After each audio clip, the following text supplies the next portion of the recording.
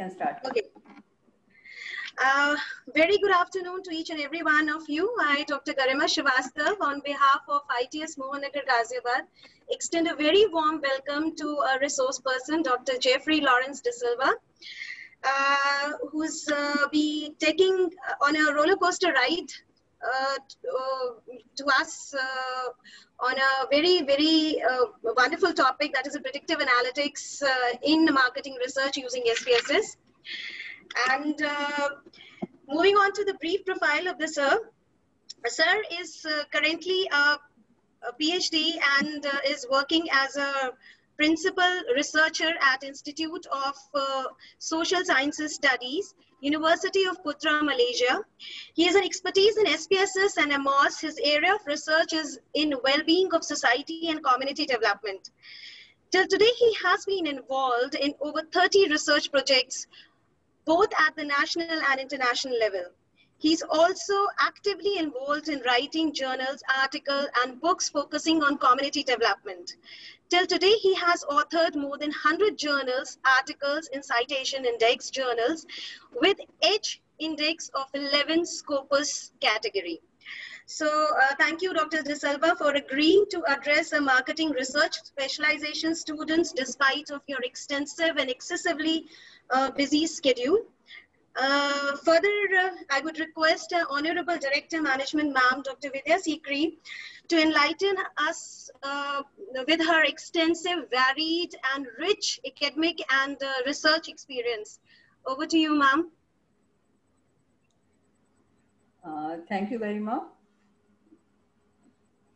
Welcome, Dr. Lawrence, to the Institute of Technology and Science, Ghaziabad. So we extend you a warm welcome on behalf of our students and our faculty members. Thank you. So uh, first of all, like Dr. Garima said, that you are and having an expertise in predictive analytics and your marketing research is really an upcoming and important area. Uh, if, if you talk about this COVID-19 and yes, I was going through your profile. So we always uh, have got a high respect for the researchers and we are by heart academicians. So we always respect the people who are deep into the research. Now, uh, coming to this uh, COVID-19 era, what has thrown us the unprecedented challenges, I'm sure that the students who are attending this workshop today, they will definitely understand the importance of research. And a lot of opportunities are going to come in coming days if you talk about research, because data analytics is coming up in a big way. And whenever there is a data, uh, there always has to be a research and that research is going to play a backbone of any economy. And I think uh, this time, uh, when you talk about a lot of cyber activities are happening and a lot of data is coming and uh, technology is playing a great role and it's a backbone now. Uh, academic institutions never thought of that we are going to even adopt this culture of work from home. Industries we understand. But then uh, we also thrown into this type of ocean where we have to accept the challenges. And I'm sure that uh, this particular topic is really very interesting, very fascinating. And uh, students are going to enjoy your uh, experiences. And I'm sure that uh, there will be a rich addition to their value and knowledge. And uh, equally, I'm also interested in listening to your thoughts so without wasting much of time, because we are already having short of time. So we would love to listen from you. And once again, on behalf of the Institute, I welcome you, sir, on this forum. And um, students are going to get some food of thought at the end of this workshop. Every workshop or every session, whatever we have conducted is always an addition to our knowledge base. So I'm sure that it is going to be a wonderful session. Uh, over to you, Dr. Garima. Uh, thank you, ma'am. Thank you for uh, enlightening us and uh, with such a wonderful thoughts. Uh, so without wasting much time, as uh, already highlighted by ma'am, this is a demonstrative workshop. So over to you, Dr. Lawrence, and um, the stage is all yours. Okay, thank you, Dr. Garima. And Director, can I share the screen, please? Yes, please. Yes, please. Go ahead, sir.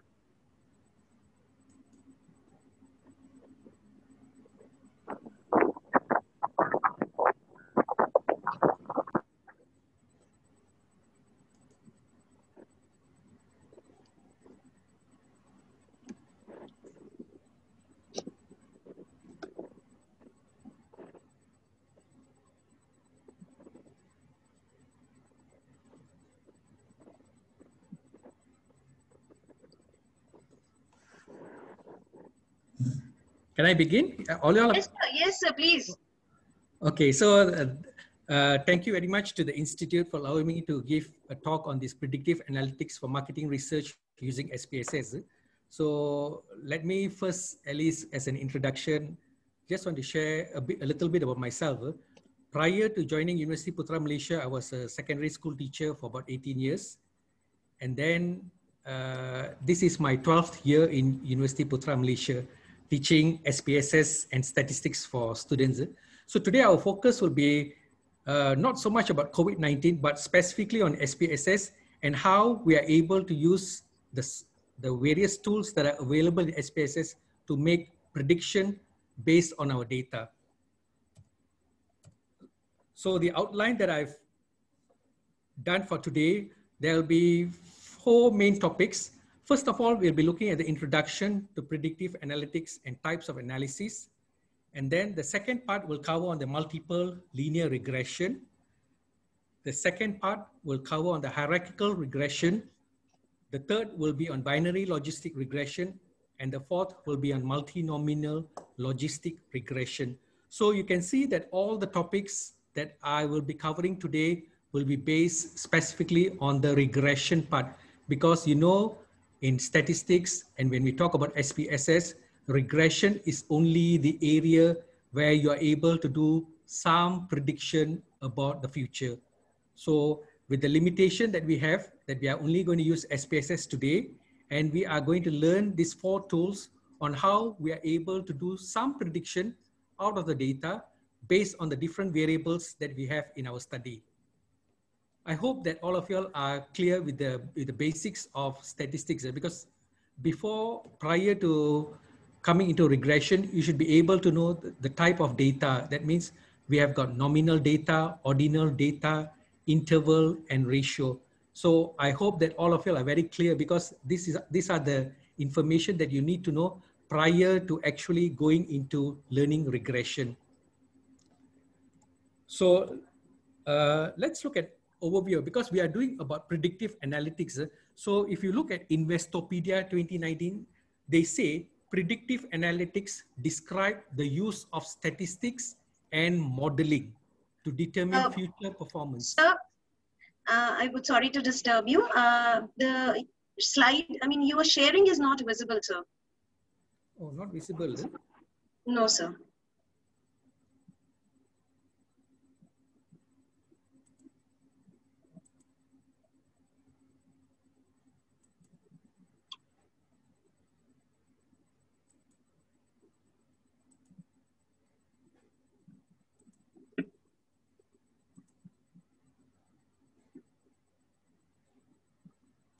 Yes, sir, it's visible now. Able to see, yeah? Yes, sir. Okay. Okay, let me repeat uh, what I have mentioned just now. So we'll be touching on the three, the four main topics for today will be on multiple linear regression. The second part will cover on hierarchical regression. The third will be on binary logistic regression. And the fourth will be on multinomial logistic regression. So it is all, these are the four areas or four tools that you can use to do your regression. Of course, you can extend this further by doing on probit regression and so forth, but only for today, we'll be covering these four topics. That will be the multiple linear, the hierarchical, the binary logistic, and also the multinomial logistic. Okay, before we go into the details, let's look at what is predictive analytics is all about. According to Investopedia 2019, eh, they say, okay, predictive analytics is described the use of statistics, okay, the use of statistics. Eh? And number two will be they're using modeling eh, to determine future performance. The whole idea, you know, that you're doing prediction is for what? To determine what is the future that is going to happen, eh? especially when you are marketers. Eh? Like Malaysia is keen to have the election soon. Uh, so this is the right time uh, for you to make prediction and we know that the software that we're going to use is SPSS. Okay, that is a that's that is the thing that you should know that we are using software to make the prediction on future performance and based on current historic data. So predictive analytics look at patterns in data to determine, okay, to determine what are they going to determine if those patterns are likely to emerge again, which allow businesses and investors to adjust where they'll be used to resources to take advantage of possible future events. So the whole idea is we are using data, we are using data to predict what will happen in the future. I'm sure many of you all might be also be involved in stock market. Okay, stock market also we have a number of data and we're using uh, tools to predict whether the share price will go up or go down. So the same thing happens here that you are using now what we call the program is called SPSS to predict what is going to happen in the future. So they say the most common predictive models include, there are three here. One is decision trees.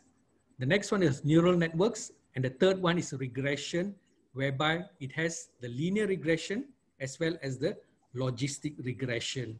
So please remember, not only regression is the only way of doing things, but you also have what we call as the decision trees as well as the neural networks.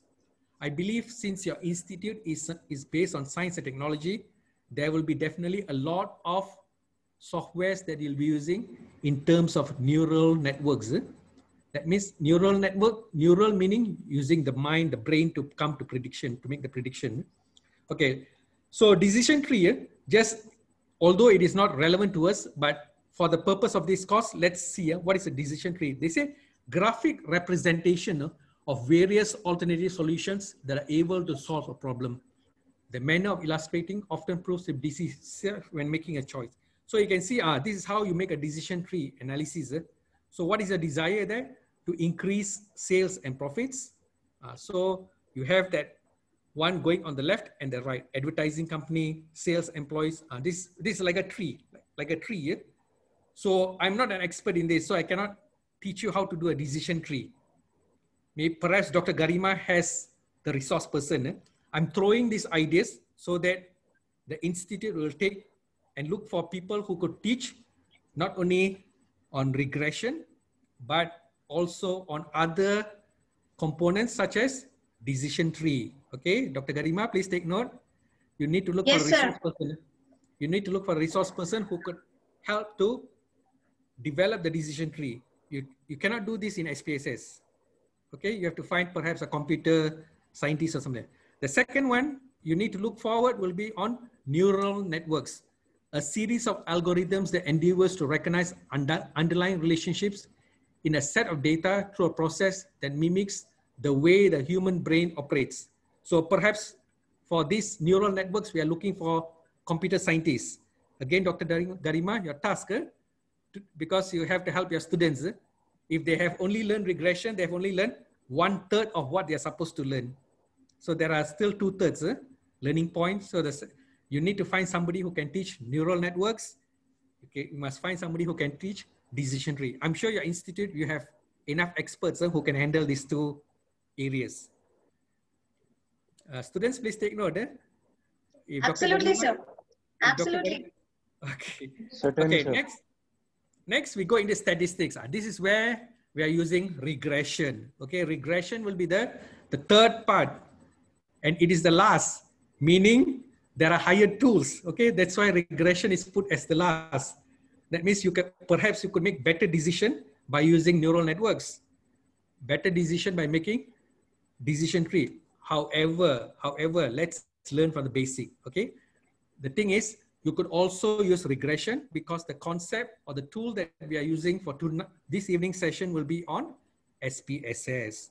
So SPSS, we can do regression by using SPSS. So what they say, regression is a statistical method. Okay, this is a statistical method eh, used in business, marketing, okay, that is your field, eh, marketing, behavioral science, definitely you need to know how your respondent or the consumer's behavior, so this behavioral science, and other dis disciplines that attempts to determine the strength and character of the relationship between one dependent variable, usually denoted by Y, and a series of other variables known as independent variables. So we have the Y and the X's, right? Remember the core of your study will always be your Y. That is your dependent variable. Okay, you all are master's students. Eh? Perhaps there is a need for you all to do a thesis.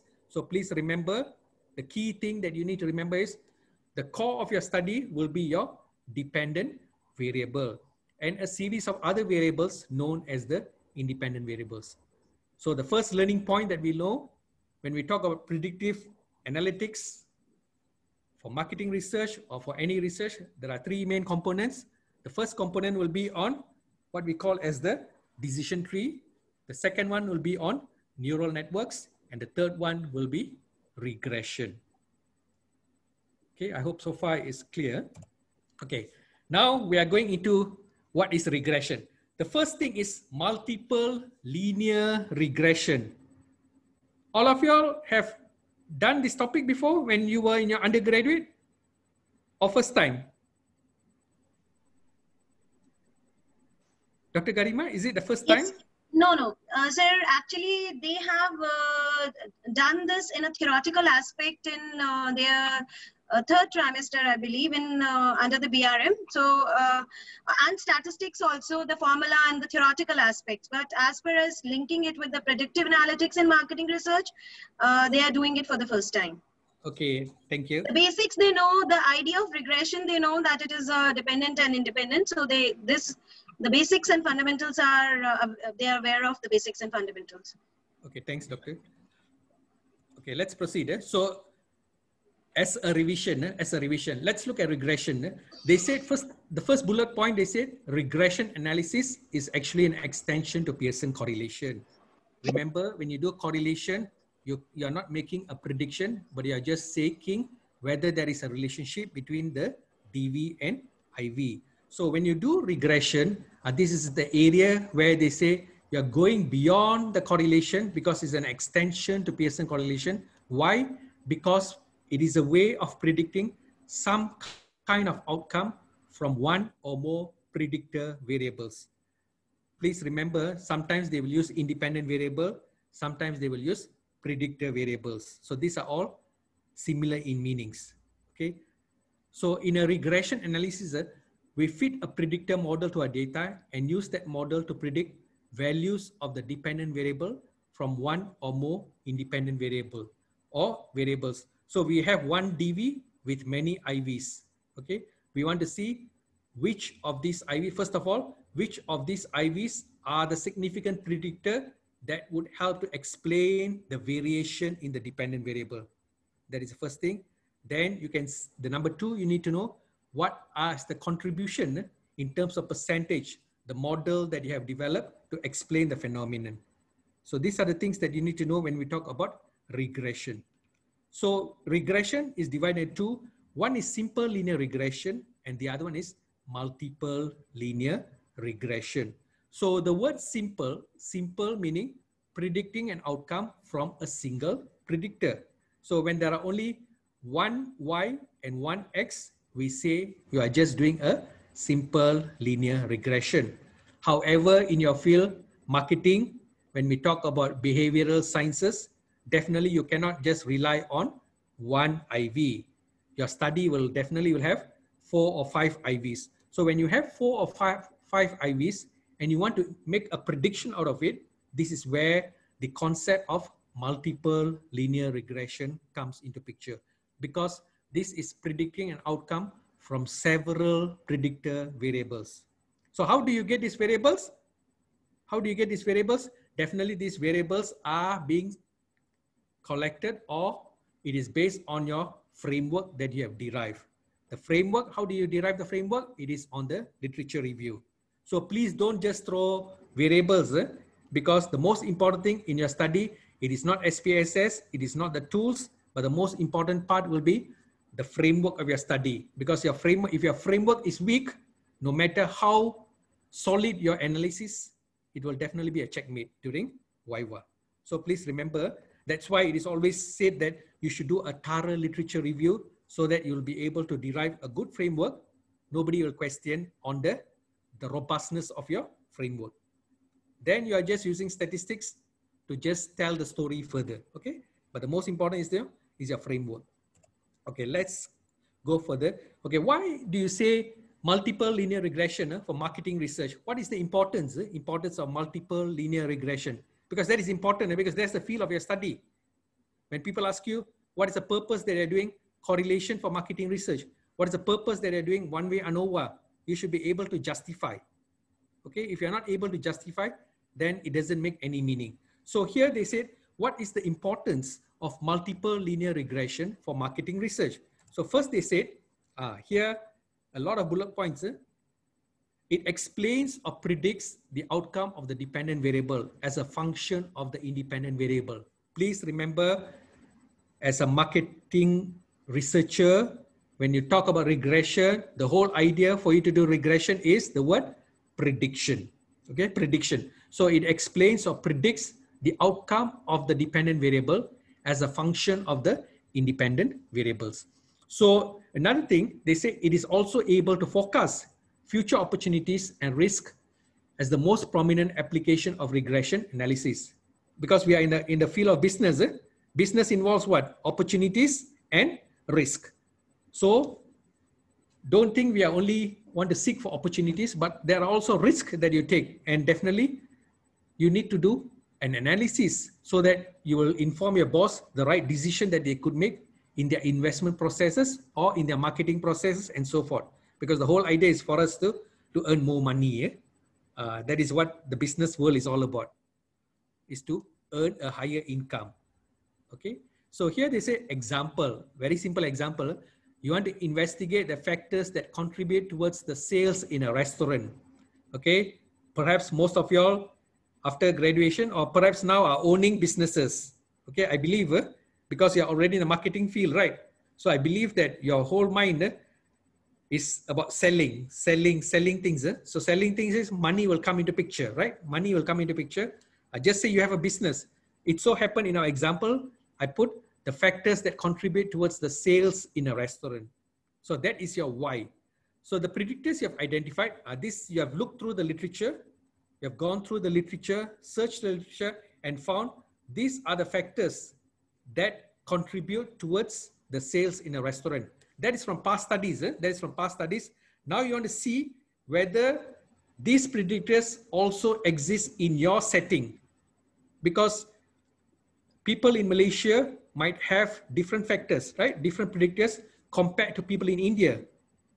Okay, so so but the whole the whole literature says uh, these are the factors. So what if identified? The literature says one, looking for cleanliness of the restaurant. Number two, the second IV is friendliness of the staff. Number three, price of the food. Number four, taste of the food. The next one, number five, speed of order. And last but not least, checkout processes. That means they're able to pay and leave the place. Uh, this they, the literature has identified uh, six factors, uh, one, two, three, four, five, six factors that will contribute towards the sales in a restaurant or in a business. Uh. So once you have the data, of course, you'll be giving to your respondent or your customers. You collect the data, you as the expert, the researcher there, okay, will key in into spaces to identify which among these factors are the predictor factors that will contribute, uh, that will help to explain the model of the sales in a restaurant. Okay, this you will be doing in regression. So it helps business and organization prioritize efforts to improve measures like overall satisfaction, likelihood to recommend, etc. Because if you want your restaurant to have a high sales, definitely you have to focus on everything. However, we know the limitations that we have is we have limited resources, time, okay, human factor, and of course money. So because of that, we have to do research, right? We have to do research to identify what are the critical factors, what are the critical factors that will actually contribute towards the sales. So perhaps out of the six, you will identify from your respondent, there are only four. So the other two you can omit. So what happens if you can omit? That means you're able to utilize your resources to the maximum. Uh, that's the whole idea of you doing the research. If no means there is no need for you to do research because the research comes into process because of limited resources. That's why we have to do sampling and population. Why the whole idea of doing all this is because of the limitation in resources. So here we can say that it helps businesses and organizations to prioritize their efforts. Okay, which is more important, which is less important, and so forth. by using regression analysis in research, it provides the opportunity to take corrective actions on the items that will most positively improve overall satisfaction. So remember the whole idea of doing this research and all this work when you put in a lot of effort is because of the limitation that you have in your resources. You want to maximize the resources so that you'll be able to improve on your sales. That's why R&D comes into picture. R&D is there to help you to make the most appropriate right decision so that you will not have losses in your sales and so forth. Okay, so we look at simple linear regression. The next slide, simple linear regression. So regression, they said a technique of placing the best fitting straight line to represent a cluster of points. Okay, the straight line expresses the linear association between the variables. So I, am sure many of you all are aware of this. So we have the y equals to a plus bx. So the slope computed simply shows the degree of relationship between the variables in the sample observed. Whether this is due to chance or there is a true relationship between these two variables can only be determined through significant tests in regression coefficient. Okay, these are theory, theoretical in base. When you do the example, you'll be able to understand what we have spoken so far. Okay, so now we are doing on multiple linear multiple linear regression. So this is an extension of simple linear regression with multiple dimension. Again, when you talk about multiple linear regression, that means what we are talking is we are adding on to the predictor variables. Example, a researcher is keen to determine the factors that contribute to the sales of a newly introduced hair shampoo. Among the crucial factors that he wishes to study are cost for TV advertisement, cost for employing promoters, training of sales executive, and cost for distributing free samples. So when you do regression, please remember there are two things, uh, very important things that first, what you're doing will be testing on the assumption of linearity. Okay, linearity. Because when we talk about multiple linear regression, that means we are able to draw the, the straight line, okay? The linear, the linear line. So here, you're putting all the factors together and you are seeing whether you're able to draw the straight line because you have your y and your x's, right? When you talk about regression, that means we're able to draw the straight line. So here they say the first thing is testing the assumption of linearity, whether the factors are linearly related. So how do you see that in your SPSS? They say, look at the ANOVA test. So ANOVA test, what we are looking for is for a p-value that is less than 0.05. Okay, that is the first thing that you need to do. Once you're able to derive the straight line, the next one is they say testing the significance of the slope. Now we are going to see the contribution of each predictor variables independently. That means you are using t-test. Just now when you did the test of assumption linearity, you are putting the factors together. See, uh, for example, we are for this uh, that contribute sales of a newly introduced hair shampoo. So what are the factors? They said the first thing is cost of TV advertisement. That is one factor. The, se the second factor will be the second factor will be cost for employing promoters. That is second predictor variable. The third predictor variable is training of sales executives. The fourth will be cost for distributing free samples. So these are the four factors they said, according to literature, they said will contribute to sales of a newly introduced hair shampoo. So the first thing that they're doing is testing the assumption linearity. You want to see all the, when you combine all these factors, are we able to draw the straight line? The y and x, uh, linear graph. Uh, and then the second one will be testing the significance of the slope, whereby you're going to see the contribution of each predictor variables independently. Because why, why we have to do number two? Because there is, there is a probability, prob probability that when you have cost for TV advertisement, cost for employee promoters, when these four factors, perhaps there are only two factors that actually contributing to the whole model. Uh, that's why you have to do step by step. That is the second one, a significant slope. Okay, so these are the steps. I've given the notes, okay, the steps. Eh? So analyze, regression, linear, and so forth. Eh? We will look at an example later to see eh? how to do all this. Okay, so interpretation. Eh? Of course, the first of the first thing is when you talk about SPSS, okay, interpretation, before you start making an interpretation, you have to check for the assumption. So the first assumption they said multi-collinearity. That means what we want is we are looking for the correlation between variables. So here you will have the correlation table and you want to check the relationship between your IV and your DV. What we are looking for is above 0.3. Okay. Again, remember when you have such things as above 0.3, not more than 0.7, it is all based on literature. So if you have somebody else who has said above 0.34, uh, 35, it's okay. Eh? As long as, because in academic writing, the most important is will be your citation, right? Who said that? So in our example or in our, in my slide, I said the correlation table, check for relationship between IVs and DV. Okay, IV and DV above 0.3 preferably. And then check that the correlation between each of the IV is not too high, not more than 0.7. I know some textbook, they say not more than 0.8. Okay, it all depends on your sources. Okay, remember in academic writing or later when you want to defend during Viva, the most important thing is people ask you, where is your sources? Okay, so so the correlation, because I, I see the changes, uh, especially when we talk about social science studies, when we talk about studies that involve human, the number seems to be changing because we are dealing with human beings. If you, if you are from a pure science, it is okay because pure science, one plus one, it has to be two, right? But here, how you're going to put 0 0.3, 0 0.7, it has to be based on literature. So that is for first one. Next, they say, next in the table label coefficient, check tolerance and VIF. Make sure tolerance value is above 4.1 and VIF less than 10.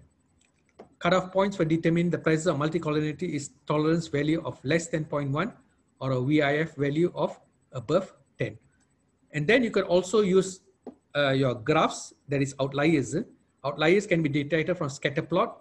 So outliers are cases that have a standardized residual of more than 3.3 or less than minus 3.3 please don't ask me why 3.3 and so forth, eh? because that you have, have to ask the statisticians. Remember, we are not statisticians, right? Our role is not being a statistician. If you are coming from the school of mathematics, yes, you need to know. But since we are coming from the, just say for, for today's session, the school of marketing and so forth. So what is important is we use the date, the, the, the, the given uh, threshold points and we make our decision. Okay, it is not our duty to look for why it is not less than 3.3. That's not our role. Eh? Our role is, it has been pointed out in literature. So we're using the source to make our decision. So that is number one. You have to check on the assumptions. Okay, the first one we are looking for is on the multicollinearity because we do not want our IVs to have a strong correlation. Okay, we do not want our IVs to have a strong correlation. The same goes to, we do not want the relationship between IV and DV to be small. That means it is not a significant predictor. That's why it is small. Okay, next, they got, they said also you can, okay, okay. So they said outliers can also be checked by inspecting the Mahalanobis distance. Okay, check the maximum value and compare with critical value. So if you have two IVs, then it, it should not exceed more than 13.82. If it is 3, 16.27. If it is 4, 18.47. It is 5, 20.52 and so forth. Okay, I have done only for 7, eh? 7 IVs. Okay, so next, testing the assumption of independent error using Durbin-Watson statistics. So values of Durbin-Watson less than 1 or more than 3 violate the assumption. Remember, not necessary you have to fulfill all these criteria, not necessary, eh?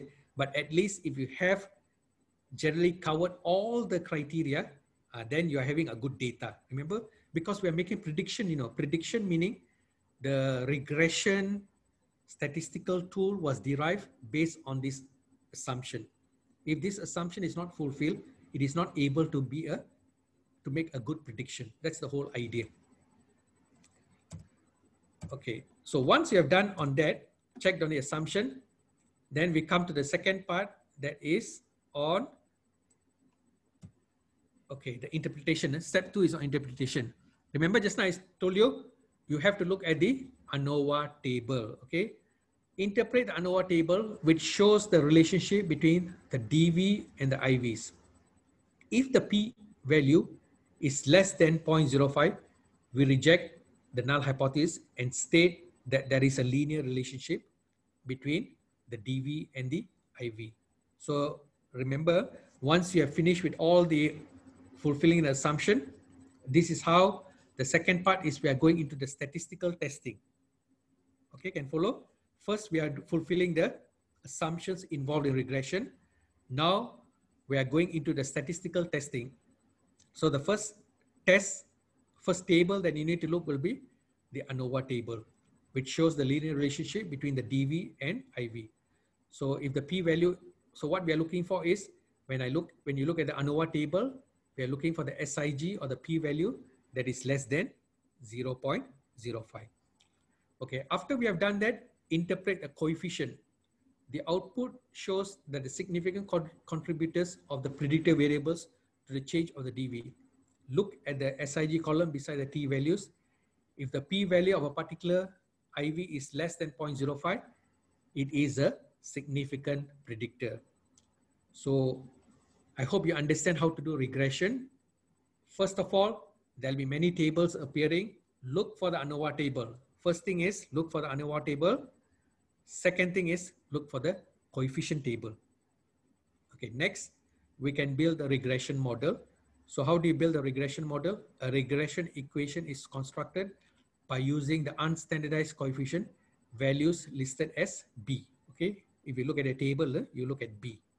Eventually, from the model summary, the adjusted R square will show the percentage of variation in the dependent variable that is attributed to the combined variation in the IVs. For example, if the adjusted R square is 0.588, this means that 58.8% of the variation in the dependent variable is attributed to the combined variation in the IVs.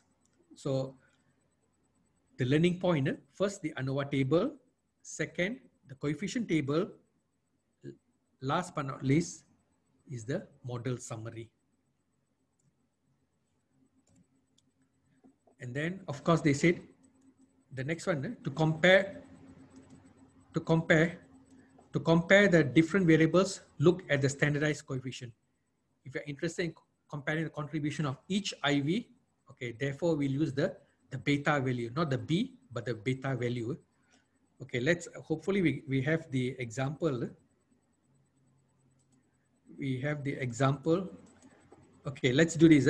A researcher is interested to use advertisement, employing promote. So a researcher is interested to use advertisement employing promoters, and cost of training to predict sales. So sales is the why. So it, based on the literature, they said we have got three factors. That is advertisement, employing promoters, and cost of training. So data collected from a randomly selected sample are as follows. So uh, now you have to open your SPSS. Let me see your SPSS.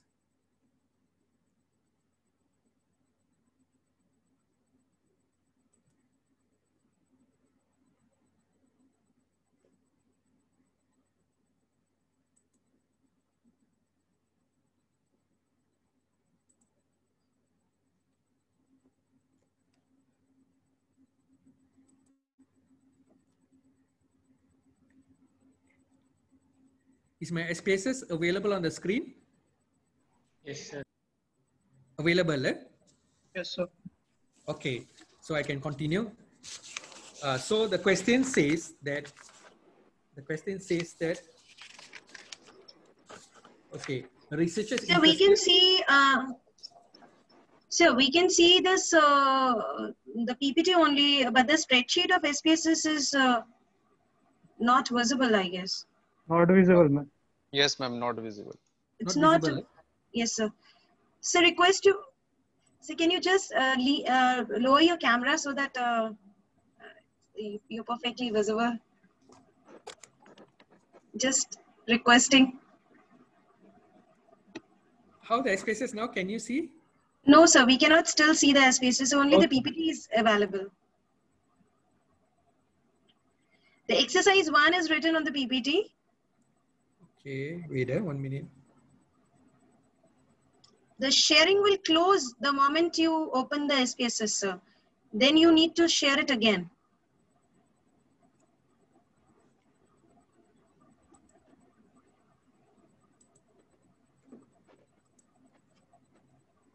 Yes, it is visible now. Okay, so in your this is your SPSS.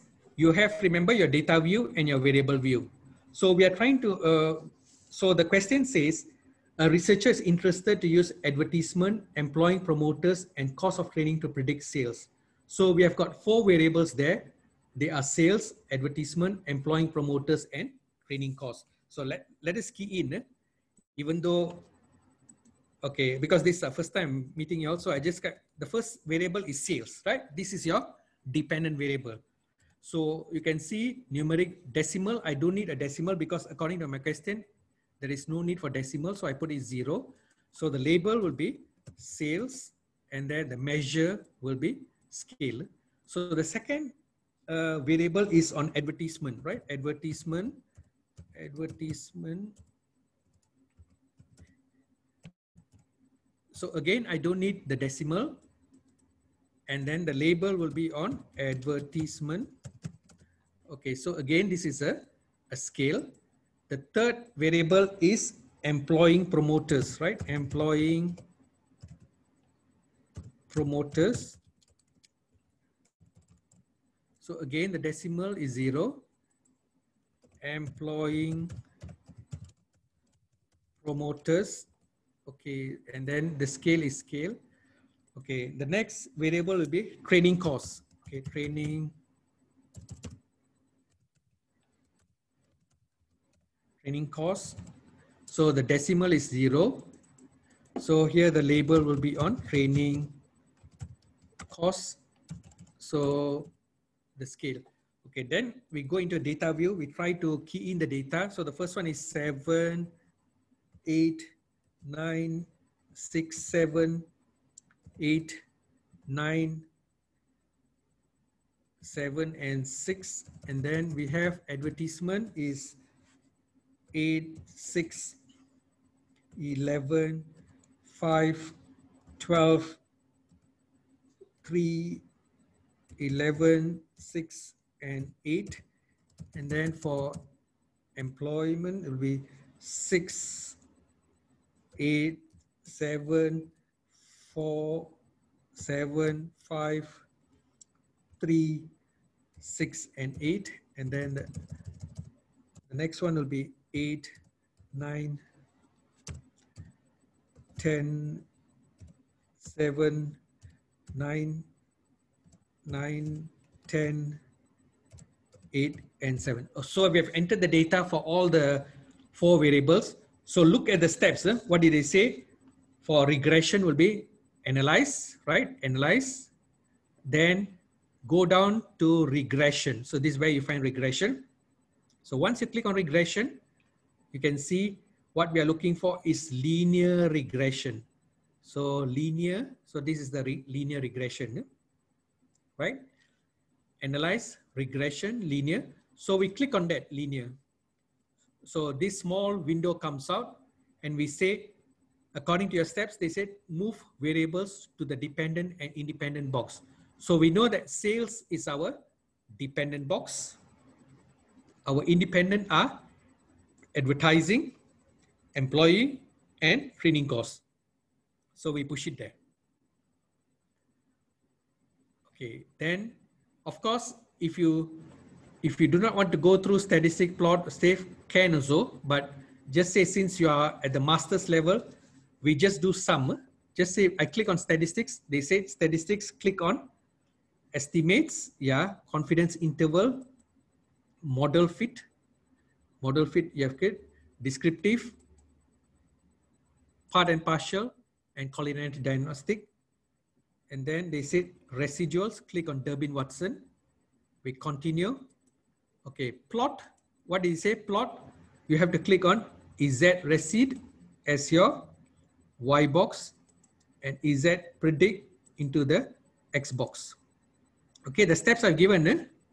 You just have to follow the steps, continue. Okay, anything else? They say click on save. Okay, save. Okay, Mahalanobis and Cooks. Okay, then continue and then okay. So eventually, this is the, okay, these are the various tables that you'll be getting, right? Various tables eh, that you'll be getting. So what they said, the first thing is, if you look at your notes, first thing is we are trying to fulfill the assumption, right? Fulfill the assumption. So assumption, we have got what?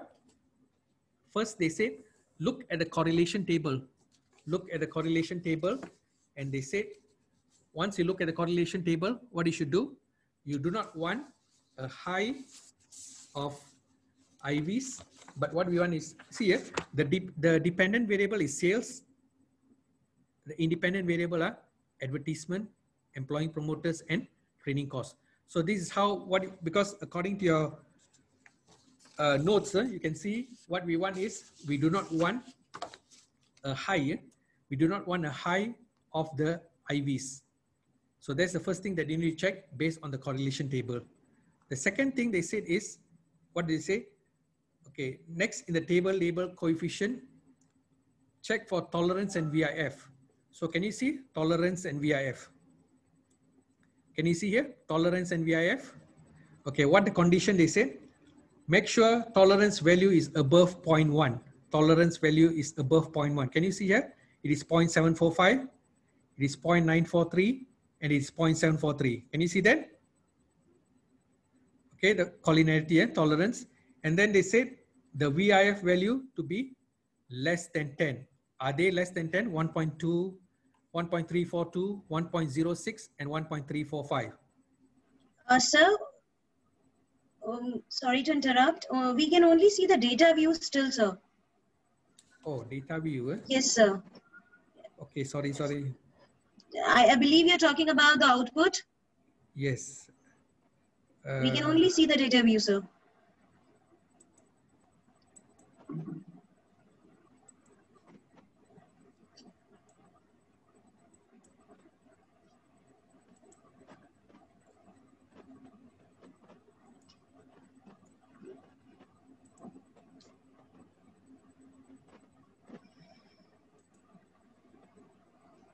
Yes, sir. Now we can see the output. Okay, sorry, I start again. So the first of all, you have to look at the correlation table. Okay, this correlation table, okay, whereby when you look at this correlation table, make sure that we do not want a high value between the IVs, but what we want is a high value between the DV and IV. The second one they said is to look at the table label coefficient. This is the table label coefficient, right? And then can you see the tolerance here? Tolerance 0.745, 0.943, 0.743. Can you see that? What they are looking for is make sure tolerance value is above 0.1. So here we see 0.745. Here it is 0.943 and here it is 0.743. So they are all greater than 0.1 and the VIF to be less than 10. So do you see here 1.342, 1.06 and 1.345. So we have fulfilled that. And then you can see can also be outliers can also be detailed from scatter plot. Where's the scatter plot? It is right here. Can you see the right here scatter plot? Dr. Garima, is it visible now? Yes, sir. It is visible. Scatter plot is visible. Okay, so what they are saying is outliers are cases that have a standardized residual value. Can you see the standardized residual value? Here it is from 1 to minus 2. So they said outliers are cases that have standardized of more than 3.3. This is 1. Eh? So we are still in that range. Okay, we are still in that range. Okay, we are still in that range. And then they said outliers can also be checked by inspecting the Mahalanobis distance. Mahalanobis distance. Eh? So where to look for Mahalanobis distance? Do we have anywhere Mahalanobis distance?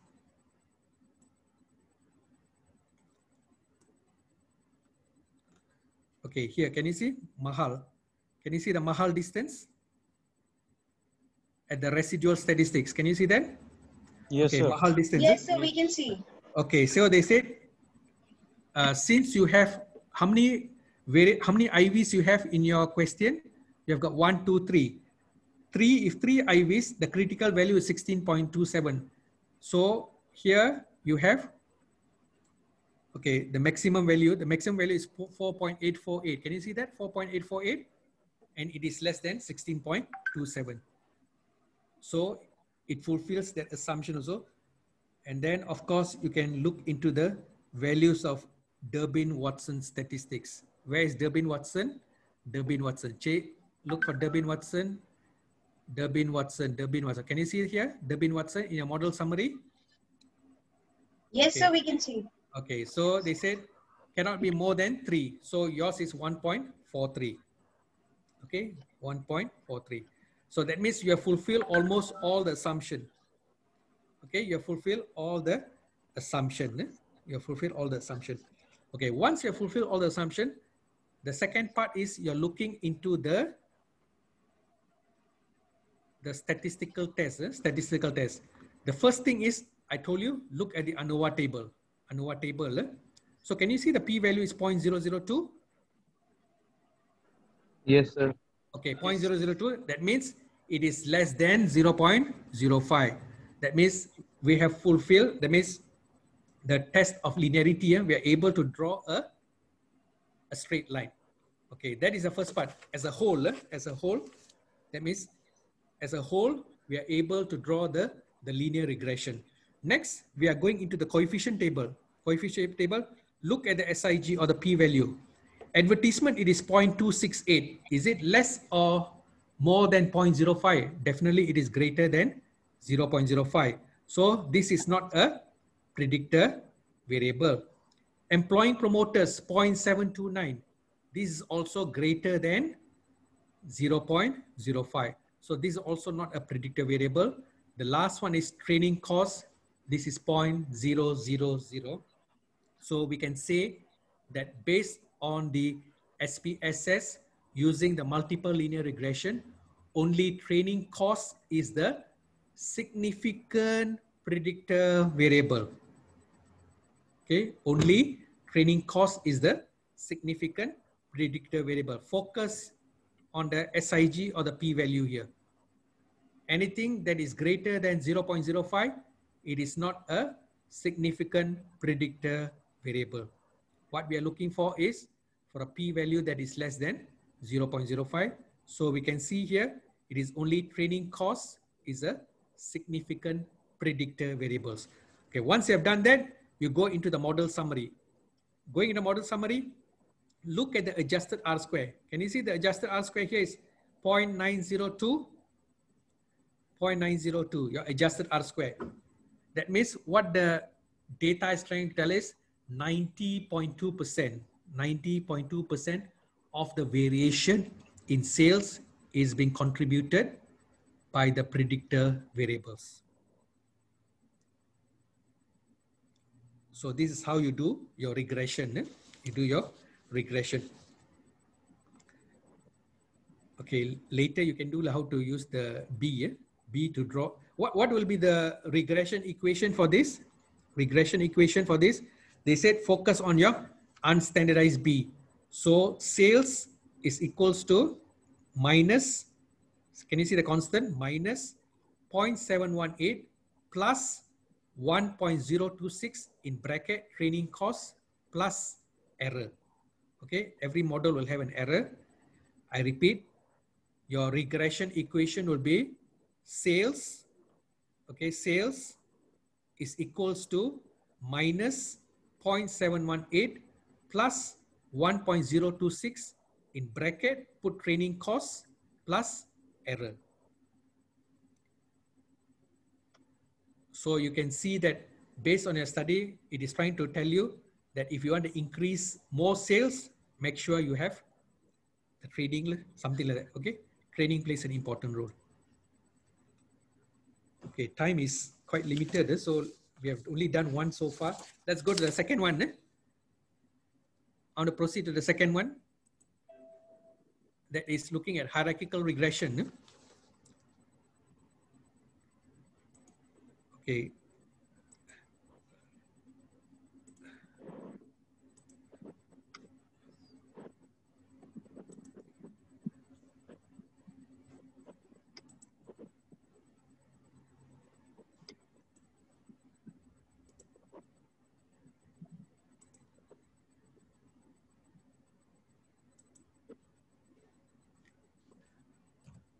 Okay, hierarchical regression. So here, remember just now we did multiple linear regression. Now it's hierarchical. Hierarchical meaning from the top to the bottom and so forth. So here the predictor variables are entered into the equation in the order based on the theoretical grounds of previous findings.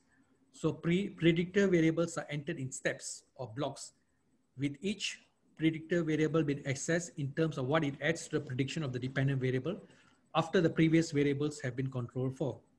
For example, if you wanted to know how well effective sales communication predicts productivity after the effect of leadership is controlled for, we will enter leadership in block one and then sales communication in block two.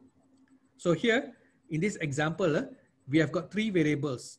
The dependent variable is productivity. The independent variables are effective sales communication. The second IV is leadership. So what we are doing now is when we did regression, we combine both. But when you talk about hierarchical regression, we do step by step. Do leadership first and then followed by sales communication. One minute. Eh?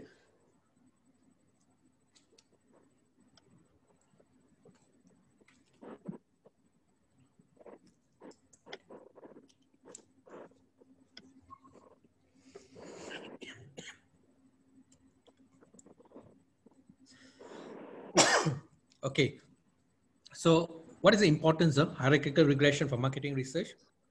So here they say, marketing scholars are increasingly recognizing the importance of investigating phenomena at multiple levels. Example, what are the significant factors that contribute towards consumers' willingness to pay for remanufactured product? Age, risk preference, environmental awareness, quality. So you can see model one, willingness to pay, that is your DV with age. Model two, willingness to pay with age, risk preference, environmental awareness, and quality. If you want to have model three, is also okay. How do you want to have model three? That means you could have model one, willingness to pay with age, model two, willingness to pay with age and risk preference, Model 3, willingness to pay with age, risk preference, environmental awareness, and quality. All depends on how you want to conduct your research. So steps, okay, these are the steps. Eh? So we have the analyze, regression, linear, and so forth. Eh? Okay, these are the steps. Uh, you can you can look at your notes. Eh? so how you're going to do? So you can see model summary. Eh? Okay, model summary. What you can see, check the R square value, R square, this R square right? Eh? After the variables in block one have been entered, the overall model explained 42.7%. Can you see? 0.427, 42.7% of the variance. After block B have been included, the model as a whole explained 47.4 percent of the variance. So the R square change, can you see the R square change here? This is the R square change here. is 0.047, meaning additional variables were able to explain an additional 4.7% of the variance in DV. See here, the first one we just put leadership style. The second one is leadership style and communication. So you can see that when you added communication, it is able to, the, the R square has increased. Okay, initially it was 0.427, now it's 0.474. So a slight increase when you have communication. Like uh, these studies all, uh, when I take example like model one, model two, uh, so these are actually real studies uh, in marketing research. I've done a search and found these are the studies that they conducted in. So this is not example from nowhere. I looked at the journals and these are the studies that they have carried out in pertaining to marketing research. so the ANOVA table, ANOVA table, can you see? 0.000, 0.000, both are significant. Indicates the model as a whole is significant. And here you can see the coefficient table, scanning the both leadership style, make a statistically significant contribution towards productivity. Can you see that? 0.002 and here is also 0.002. That means it is a significant predictor. Okay, let's see. This question, eh? if we control for leadership styles in sales, do any of the other variables significantly add anything to the prediction over and above what leadership style contributes? So here we have sales, leadership, organizational climate, and motivation. Okay, let me go back into my spaces again. Eh?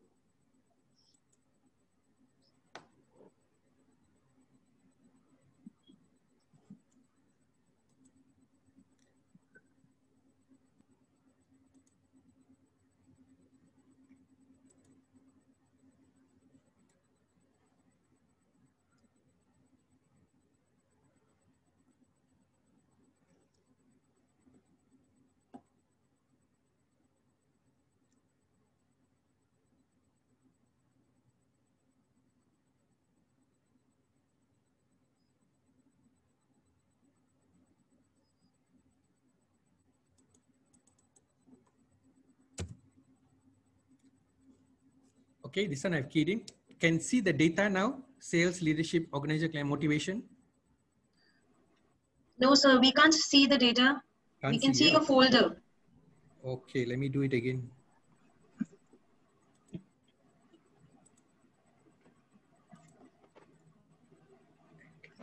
Yes, sir, we can see the data. Okay, so I don't have the key in it.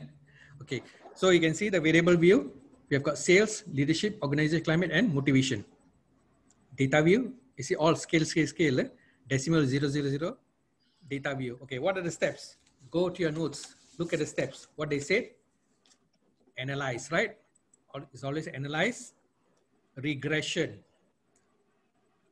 Linear, right? Linear. The question says they are controlling leadership, right? eh? They are controlling leadership. Okay, click here. So what is the dependent variable? Sales. Leadership will be a independent variable. Can follow? See, yeah, according to question, you want to control leadership. Initially, when we did multiple linear regression, what we did, we put organization into here, motivation into here, right? When we did multiple linear regression. Now we are doing hierarchical regression. So hierarchical, we don't do the same way. Still remain leadership. That is block one. Then we click on next. Click on next. Can you see your independent is zero here? So now you enter organization and you enter motivation. Okay, you can also uh, click on statistics. Maybe you want to see the R square change. Okay, this, this are all for assumption. eh? I don't want to do the assumption now because lack of time. I just want the R square change. So we click continue and we click OK. So what do we see? Something like that. The model summary. With leadership, it was 0.231, right? When we added motivation and organizational climate, it increased to 0.241. So what is the R square change? It is 0.010. Can you see that? Uh, Uh, sir, we cannot see uh, the output. Still, we are on the data view.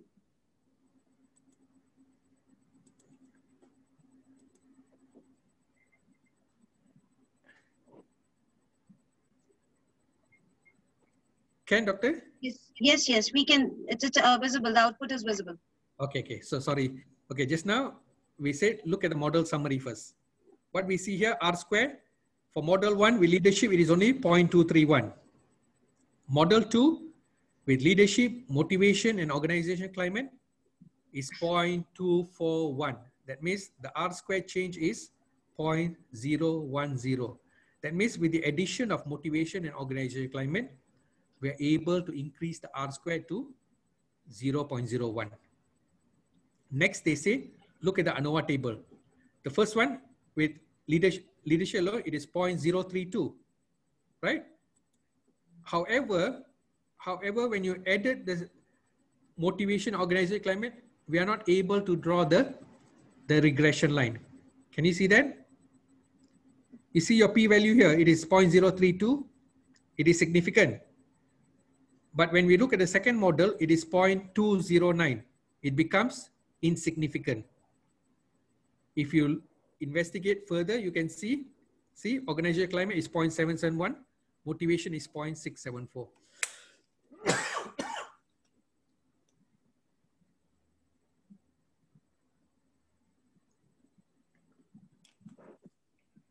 so what you can see, what is our conclusion here?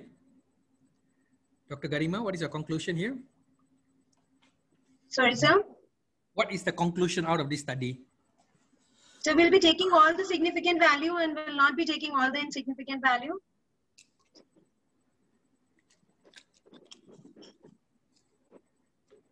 See what you can see here. When we have only leadership, when we have leadership, it is a significant predictor. However, right.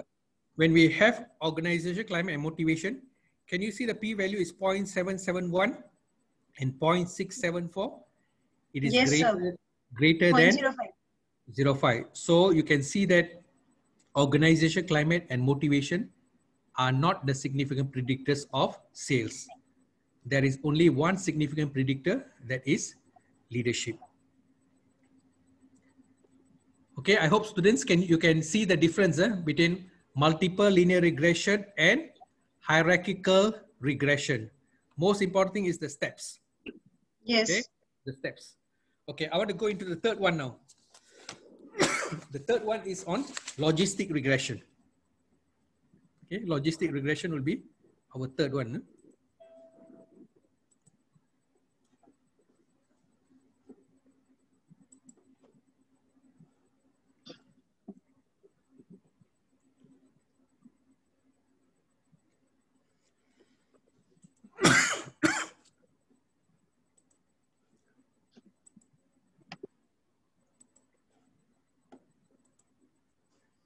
Okay, logistic regression, we have got two, eh? binary and multinomial. so let's read it.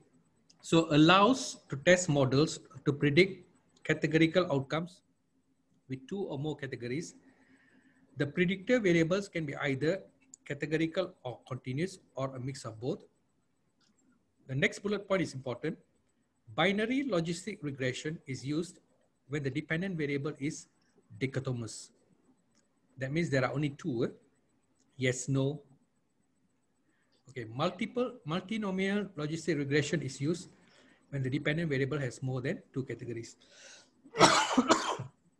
In logistic regression, the value that is being predicted represents a probability and it varies between zero and one. Okay. what is the importance of logistic regression to marketing research? So here they said Many marketing research problems call for the analysis and prediction of a dichotomous male, female, yes, no, user, non-user. There are only two. When you talk about dichotomous, there are only two responses. Yes, no, satisfied, unsatisfied, user, non-user. Okay, uh, then you know, then you need to use logistic regression. Whether a product will succeed in the marketplace, whether a consumer should be classified as a user or non-user, whether a consumer is prone to engage in risky buying behavior. Again, here is yes or no, and so on. So logistic regression is important for dichotomous variable. Independent variables need not be interval. Remember when you use regression, when you use regression, the variables have to be interval in nature, right? Remember when we did just now earlier, sales, no category, right? Eh? And so forth. So logistic regression is important for dichotomous variables. Okay, let's look at one example, a research question. What factors predict that likelihood that respondents will report that they had leadership problem? So what we have, the variables, dependent variable are categorical and dichotomous. Leadership problem, no or yes, coded as zero and one. Two or more continuous or categorical variables, gender or age. And LR provides an indication of the adequacy of model by assessing goodness of fit. So binary logistic regression estimates the probability of an event. Uh, this is important. Please pay attention to this.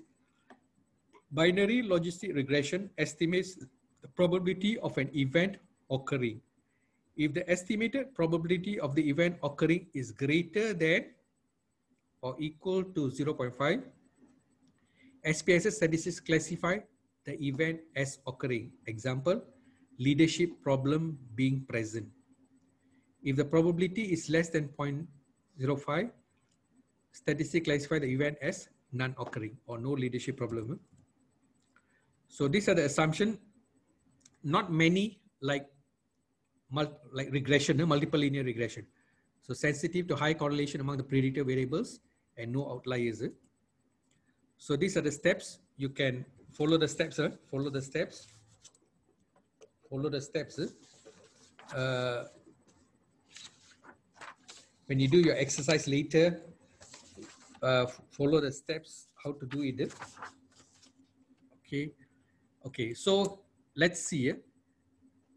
These are the results that you get. Block zero, beginning block. You'll see leadership problem, no, yes. What we are interested will be the percentage here, the percentage here, the baseline with no independent variable, the overall percentage of correctly classified cases 65.0. Look at the classification table first. Eh? Please remember, look at the classification table. Okay, next. Uh, I've summarized all, eh? so please use this to do your write-up. Eh? So omnibus test of model co coefficient uh, or the goodness of fit test, we want a highly significant value. That means the SIG value should be less than 0.05. In this case, the value is 0.000. Therefore, this model is better than the one in block zero. When we look at how do you interpret a Hosmer and Lemeshow test, there's a chi-square here. Look at the SIG here. What we're looking for is something that is greater than 0.05. Poor fit is indicated by SIG value less than 0.05. So to support our model, we want a value greater than 0.05 look at this. Eh? The SIG value is 0.224, therefore indicating support for the model. And then looking at the model summary. The model summary is something like the R square. Remember when you did regression, you have the R square. Okay, here provides the information about the usefulness of the model. In this example, you see our focus will be Cox and Snell and Nagelkerke R square. Two things. Eh? Cox and Snell R square and Nagelkerke R square. So Cox and Snell says 0.041, Nagelkerke says 0.056. Remember, these are all statisticians. Eh? Please don't ask me how and where how, how it is being derived. Eh? It is all from SPSS. At our stage, we must know how to interpret. That is the most important part. We must know what, how to interpret. When you see a particular table, when you see Hosmer and Lemeshow test, what, what is that trying to say? We want a p-value that is greater than 0.05. When you look at the model summary, what is, what is the thing that you want to say? Provides information about the usefulness of the model. In this example, the two values, Cox and Snell and Nagelkerke, suggest that between 4.1, how do you get 4.1? 0.041 times 100 will be 4.1. And 5.6% of the variability is explained by this set of variables. Okay, that's the meaning of it. Eh? In your regression, you have only one R square. But in your binary logistic regression, some, some of them, they just focus on Nagelkerke R square. But some books, they said, you have to talk about Cox-Snell and Nagelkerke, better say in this example, the two values suggest that between 4.1% and 5.6% of the variability is explained by this set of variables. That is the second thing. Eh? Next one. Okay, now you're going into the going into the the block, eh? the classification of the second one. So here you can see 65.8. Just now block zero was 65.0, block one 65.8. That means there is an improvement in the prediction of the correct category. Okay. Finally, you look in the variables in the equation. It is something like the coefficient table in your regression. Okay. Remember you have your B, you have your SIG, is the same thing. The above table shows the contribution of the each of the predictive variables. Look at the SIG value. Look for value less than 0.05. So can you see here? Construct a, a gender 0.492. This is greater than 0.05. For age, it is 0.041. It is less than 0.05 and constant, you don't worry. So the above table shows the contribution of each of the predictor variables the significant influencing factor whether an individual is having leadership problem is age. Why age? Because only age, it is less than 0.05. The negative B value for age suggests that as age increases, the less likely is for individuals to face leadership problem. That means they're having an inverse relationship. That's why you can see here, it's a negative inverse relationship. That means as you grow older, you will have less leadership problem. And the second conclusion is gender did not contribute significantly to the model. Okay, there was, because gender is 0.492. Okay, 0.492. So the main table that you need to remember, first of all, please write somewhere, Hosmer and Lemeshow test Second important table will be model summary. And the third important table will be variables in the equation. Okay. The others, if you avoid, is okay, no problem. But these three tables are mandatory. That is Hosmer and Lemeshow, model summary, and variables in the equation.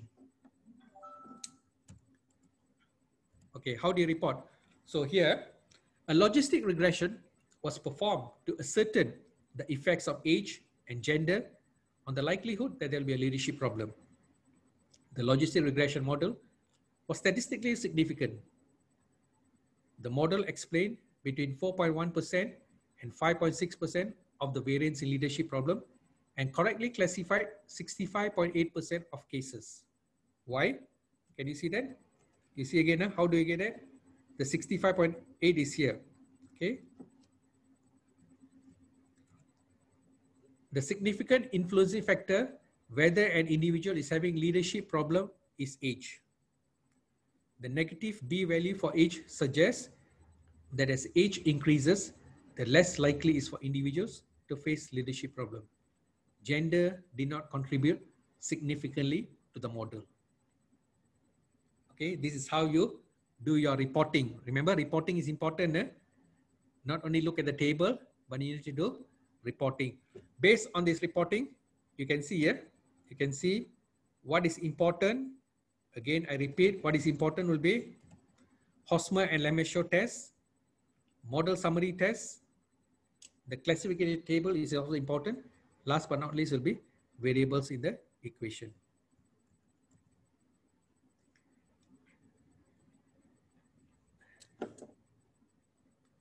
Okay, this exercise we are supposed to do a do body weight and age have an influence on on the probability of having an influence on a higher sale of a product uh, perhaps you could do this exercise and then send it to me let me check okay let me check eh? because i've given this exercise to you all right so write this will be your first assignment eh? to write a, a report eh, out of this this data is given using binary logistic regression. The question is, the research question is, do body weight and age have an influence on the probability of having an influence on a higher sale of a product, okay? Okay, I want to proceed next to multinomial. Can I proceed next to multinomial class? Yes, sir. I believe. The class? Okay. Okay, Yes. multinomial. Yes, Multi- sir. Yes, ma'am. Okay, multinomial. Eh? An extension of binomial logistic regression. eh? Sorry, the spelling is wrong. An extension of binomial logistic regression. Okay. So you see the difference. Eh? The dependent variable has more than two categories. That means it is not a dichotomous variable anymore. Uh, this is when you don't have a dichotomous variable. That means just now we had yes, no, eh? only two responses, right? eh? Now we have got more than two responses. So if there are more than two responses in your DV, you know it is multinomial logistic regression. So the independent variable can be category or and continuous. Example, eh? Uh, this again, this example was taken from a from a marketing journal. eh? It's not simply from my own journal or what. eh? It's from a marketing journal. A study was carried out to determine the type of fast food preferred based on age and location. The dependent variable would be type of fast food with three categories: burger, nuggets, and fries. Okay, burger, nuggets, and fries. Do you, like McDonald? Eh? McDonald in India, we have right McDonald in India, Dr. Garima. Yes, sir. Do you have McDonald in India? Yes, sir. Of course, we do have oh. McDonald's in India. Okay, so this this this the example. Eh? So McDonald's sells burger, nugget, and fries, right? Types of product, right? So they say the dependent variable would be type of fast food with three categories: burger, nuggets, and fries. The independent variable age is continuous, while location is based on urban, semi-urban, and rural. So that's his first thing. Uh, please remember, you must know when to use binomial logistic regression, when to use multinomial logistic regression. So binomial is for dichotomous. Multinomial will be when you have more than two categories. eh? So assumptions, the same thing. We do not want to go mu- multicollinearity or outliers and so forth. So these are the steps involved. Analyze, regression, multinomial, move the predictor variable, click categorical, and so forth. Okay, this is important. How do you report, right? Reporting is the most important part. Eh? Reporting.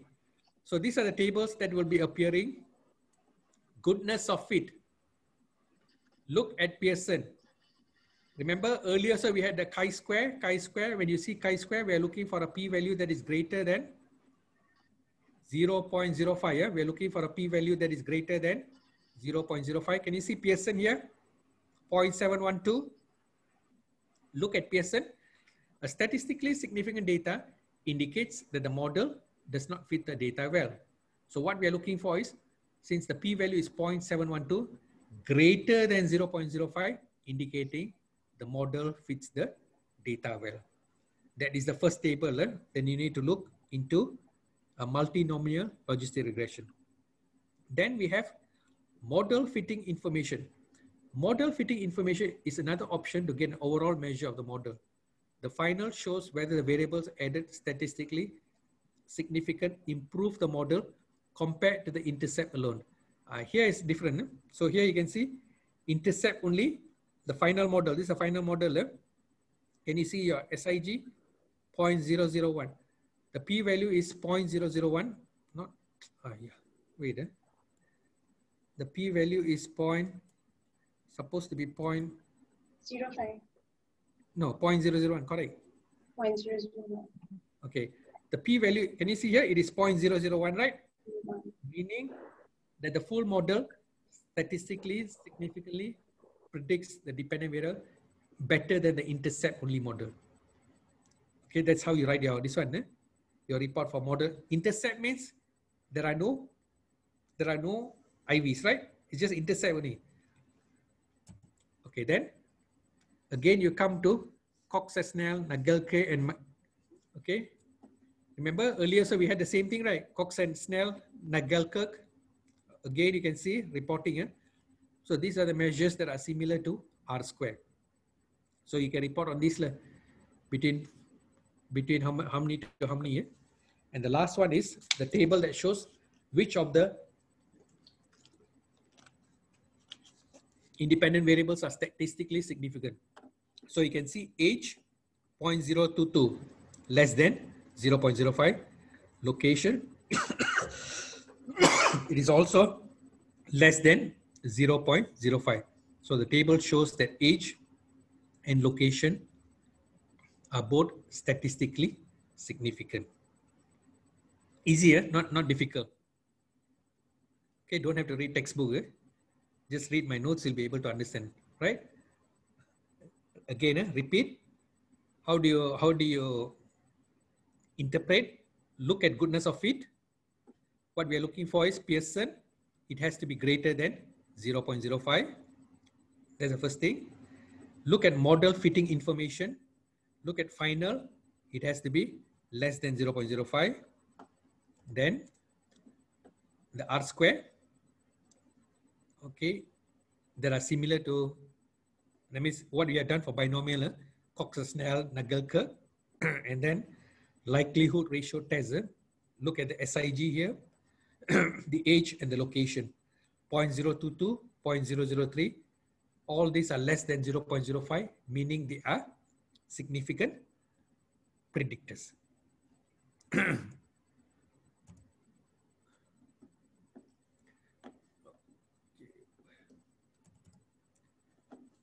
Okay, now you can see here, the last one. eh? Uh,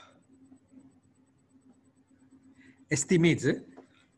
so what we did is, you see eh, the reference category is fries. Now we are combining, we are comparing eh, burger with fries, nugget with fries. Can you see that? Two logics, first set comparing burger with fries, second set comparing nugget with fries.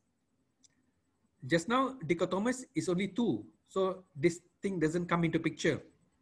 Now, since we have got more than two, we are comparing one by one. Burger with fries and also nugget with fries. So what we can see? Burger. Okay, let's look at the SIG here. SIG here, this is important. Eh? Age 0.016. It's a significant predictor, right? Location, greater. This also greater, greater, greater. All these are greater. So what we can see, age is significant for the first set, but not the second set. Location is not statistically significant for both set. Can you see? 0.166, 0.347, 0.209, not statistically significant. eh?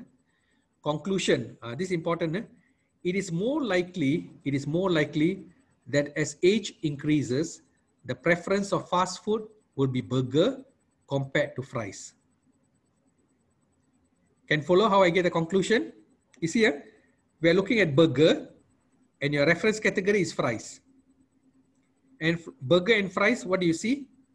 The only thing that is significant is age. The only thing that is significant is age. And then you see, it is positive, not negative, right? It is positive. Can you see that? The B, yeah? it is positive. Location, not significant, not significant, not significant. Here, nugget with fries, all of them are insignificant, insignificant, insignificant, and insignificant. All of them are insignificant. So that's why we say, that's why our conclusion, eh, it is more likely that as age increases, the preference of fast food will be for burger compared to fries. That's our conclusion.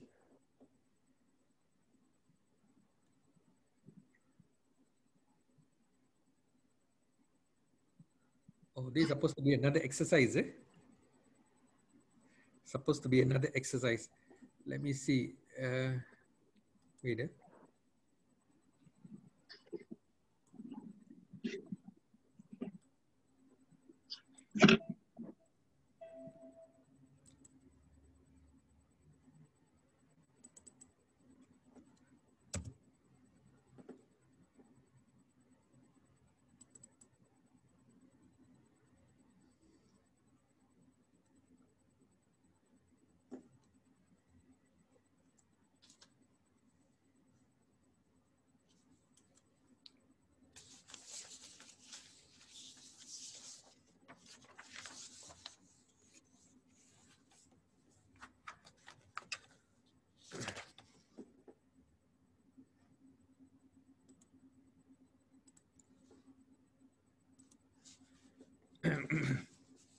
this is uh, what for exercise four, exercise four in your notes.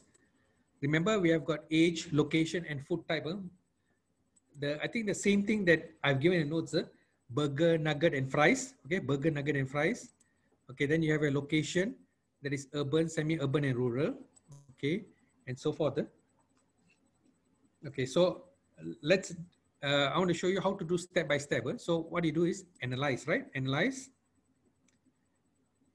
regression and we go into multinomial logistic. Can see that multinomial logistic? Okay. Click on multinomial logistic. You get this. So what is our dependent variable? Our dependent variable is the food type, right? That is our dependent variable, which has got three categories, burger, nugget, and fries. Then they said, move the predictor vari variable into the covariate box. Okay, move the predictor variable. Okay, just say I put age in the covariate box and the location.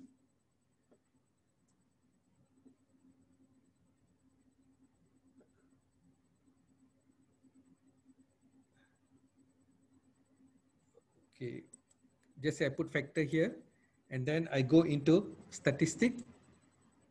Just say uh, they say cell probability classification, goodness of fit.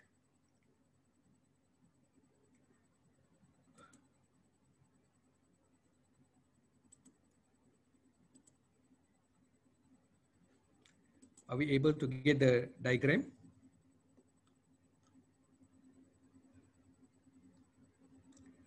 Okay, this is how you get the goodness of fit. What we are looking for is for a for a p value that is greater than 0.05. Can so again, the output is not uh, visible to us. We are still on the data view. Okay, sorry, sorry.